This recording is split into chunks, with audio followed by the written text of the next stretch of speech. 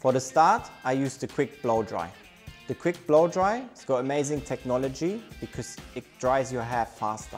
When the hair is wet, it's bundled like this and this product presses the hair apart so the air can flow through so it does grow up to 50% faster. As well as gives you great manageability, like you can comb much better and it has a protection from blow drying the hair.